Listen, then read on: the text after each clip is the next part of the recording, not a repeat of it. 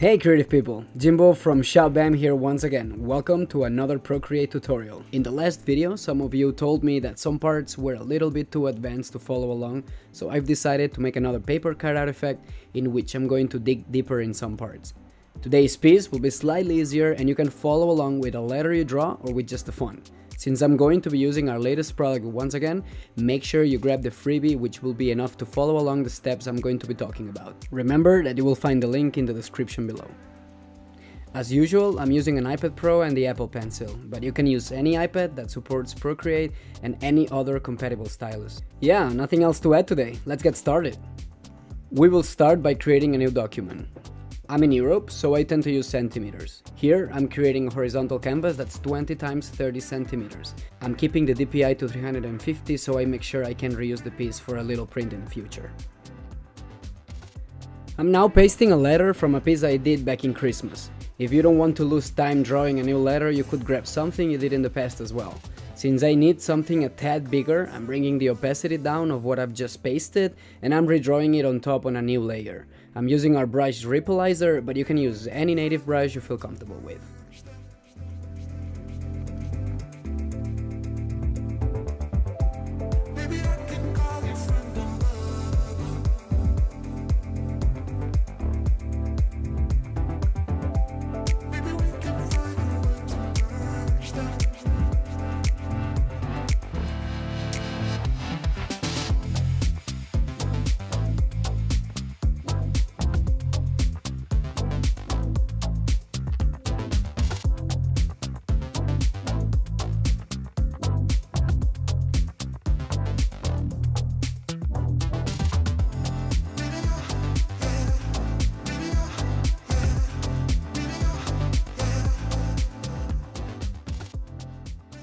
Once your letter is correctly placed, we'll jump on to the next step, which is a truly fun one since there's not a lot of thinking involved. Grab another color, doesn't matter which one at this stage, and open the Ultimate Background set. If you just have the sample set, you can use the stamps Crafty Paper 3 and Watercolor Banner. If you do have the complete set, you will find a total of 36 ripped papers. In the video, I'm playing around with the beta version, so all the brushes are all over the place, sorry for that. Anyway, create a new layer for each individual stem and start filling up your canvas. So yeah, keep stamping until you're satisfied. I'm a bit of a punk, so I'll keep adding elements until I'm no longer afraid of the white space.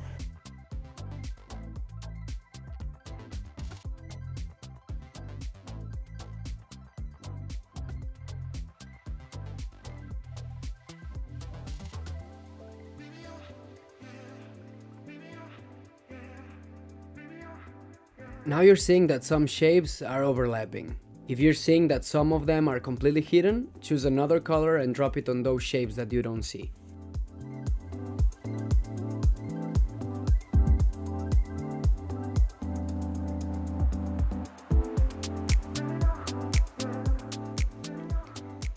Before we move on to the next step, we're going to change the colors of the whole piece. Here I'm using a super limited palette so it's easier to find a good balance. First, I've changed the background's color and now I'm choosing colors for the rest of the elements.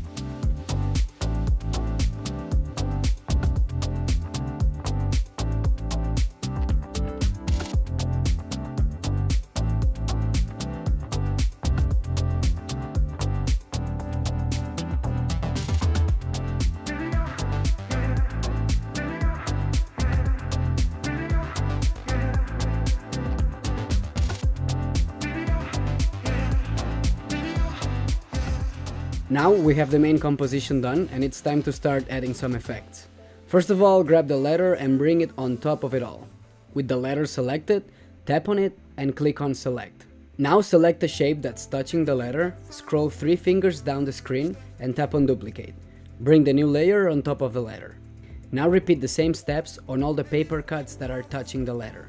As you'll see, you're gonna have all these little cuts ready for the next step.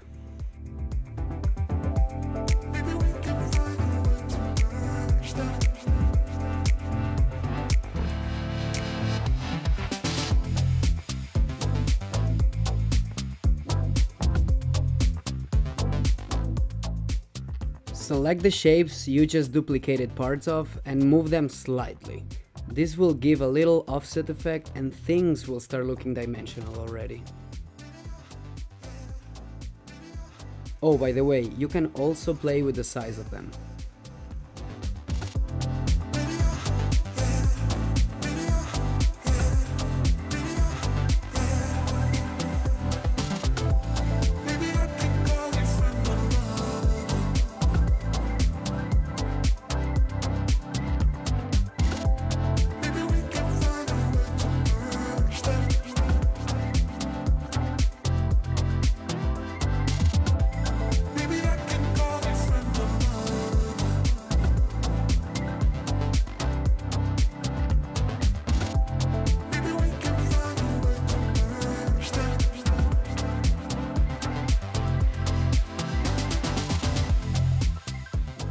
Now it's time to decide where the light is coming from. It's totally up to you, the only important thing is to follow the same direction from now on. So duplicate the letter and drop a darker color on the bottom one.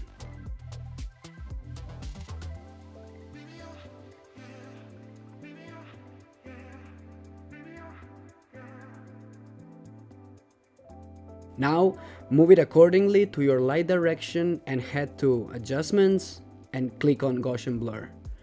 Once selected, you can adjust the amount of blur by moving your pencil right and left on the screen. The more blur you add, the further the letter will seem from the background. In this case, I want to have it quite close to the background, so I just added a 6% Gaussian blur. Now tap on transform and select the distort option. Use the corners of the selection to adjust the shadow irregularly. So it looks like the letter is not completely parallel to the background and for sure this will give a little bit more realism to the piece. Now I'm gonna decide what elements are on top and which ones are behind. For example, I'll create an effect on this red piece here like it's cutting the letter and so the letter projects some kind of shadow on it. Go to the layers panel, create a new layer on top of this little cut and make it a clipping mask. So the shadows only affect the layer underneath. To create the shadows, we'll be using an inverted texture brush. In the set, each texture comes with an inverted brush that works perfectly as a shader. If you have the freebie, you can convert, for example, the texture called Fabric-like by tapping on the brush, going to Grain, Edit, tapping with two fingers on the texture and then clicking Done. Now your shader is ready to give some awesome shadows. I know it would make more sense that this cut is on top of the letter, but I like being a bit more imaginative about it and do something different. Start spraying some shadows accordingly to your light source. My overall shadows in this piece will be really mild, so it looks like the paper cuts are almost touching.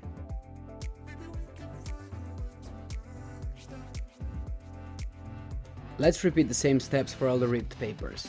I'm selecting the shape on the background, creating a clipping mask and again spraying some shadows on it, this time coming from the letter.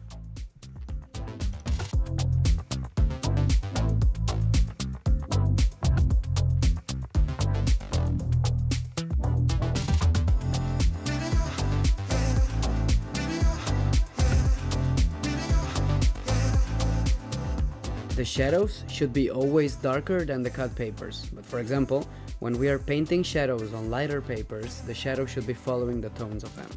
Our letter is semi-white, so I've decided the shadows would be brownish.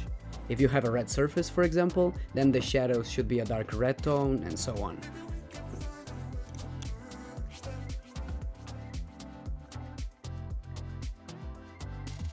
Since some of these papers have a bit of transparency as I previously told you, some shadows will be shown through them. To avoid this, paint your shadows and then select the paper on top. Click on the selection tool and select automatic on the bottom part. Now tap inside your selected shape and move your pencil right and left until you have a good selection. Head back to your shadow, scroll three fingers down and tap on cut. Now your shadow is not showing through anymore and it just shows where it's supposed to be. Play around with some colors and shadows. I'll leave you to it for a while and see you later.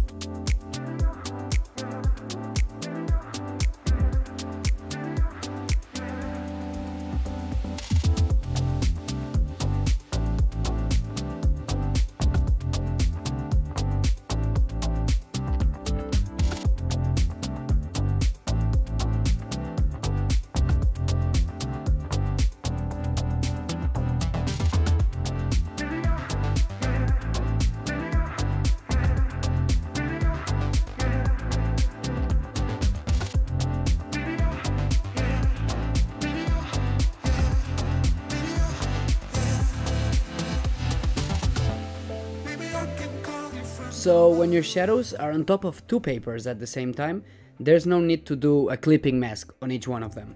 Just create a new layer under the shape projecting those shadows and set your layer to multiply by tapping on that little letter N on each layer. Multiply will make the color of your shadow affect differently on each color that's painted on, and so your shadow will look realistic on both papers.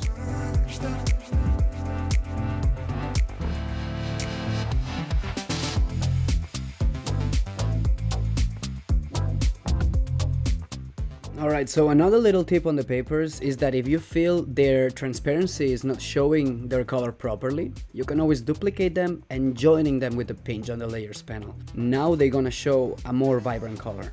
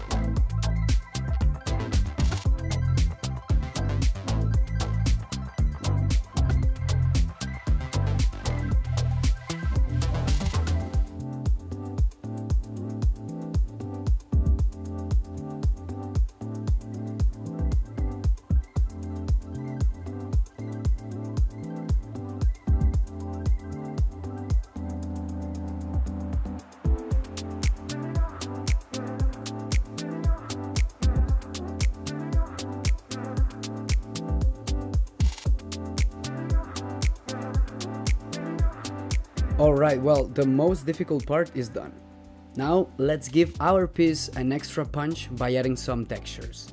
As you see, the stamp papers already have a bunch of textures on them, but nevertheless, we're still to get some nice textures on our letter and background. If you feel like your papers are not rough enough, then you can also add some more textures on them. In order to do this, we will select the paper textures included in the set or freebie and we will scroll through them until finding something we like. The way to apply this is pretty simple. Since they are seamless, you just have to create a clipping mask on top of the surface you want to paint on and start spraying them. Play around with colors and even several textures at the same time. Just have fun with it.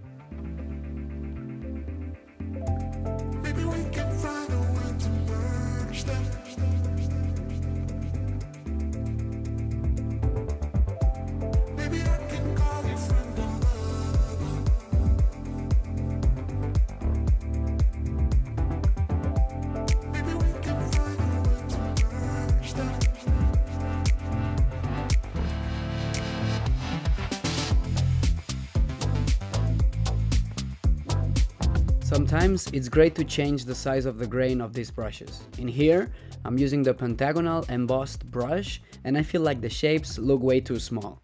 To change this, tap on the brush inside the library and once you enter the brush studio, go to grain and change the scale. Once you're satisfied, click done.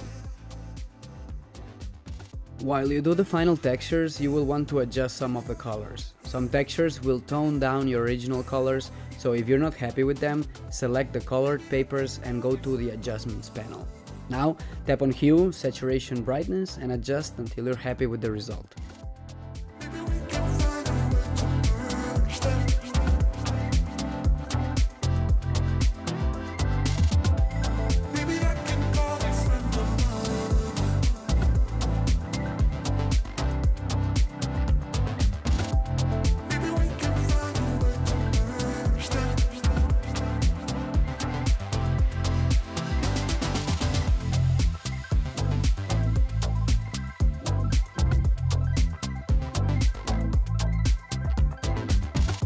To add the final touch, we will stamp one of the overlay shadows included in the set. You can try them all out and see what fits better your piece. So add a new layer on top of everything else and make sure to position the shadow where the light comes from. I'm setting it to multiply, but feel free to try other mode. Also, make sure you bring its opacity down if you don't want it to be too visible.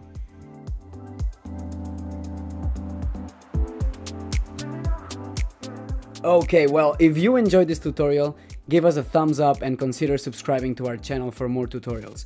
Also, if you want something a tad more advanced, check our previous tutorial where I'm teaching how to do a complete illustration with some of the techniques you just learned. I wanted to thank you all for the feedback on the last video. We are preparing a bunch of new tutorials based on your suggestions, and if you have more ideas on what you want to learn next, let us know in the comments. Thank you and see you next time. Remember that by joining our newsletter community, you will get access to all of our freebies, including free Procreate brushes, textures, and fonts, and other fresh stuff we cook up every month. Remember that you'll find the link in the description below. And with that said, ladder away!